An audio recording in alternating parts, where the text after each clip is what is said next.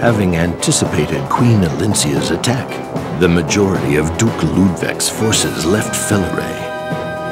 The troops stationed at Castle Felirae were merely the bait with which to lure Geoffrey and his troops away from Melior.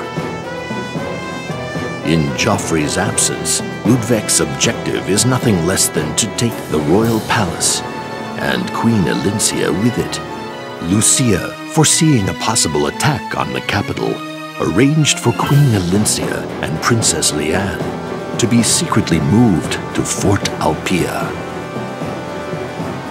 Yet Lucia herself is unable to evade Duke Ludveck's agents.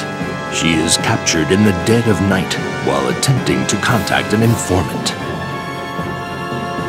Queen Elincia receives the sad news the next morning.